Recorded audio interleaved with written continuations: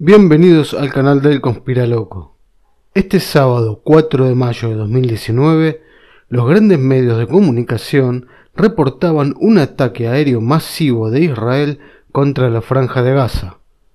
La narrativa de toda la prensa es la misma, que el ataque de Israel había sido en respuesta a los cohetes lanzados desde Gaza. Pero lo que no te dicen es que el día anterior, el 3 de mayo, cuatro palestinos fueron asesinados por las fuerzas israelíes.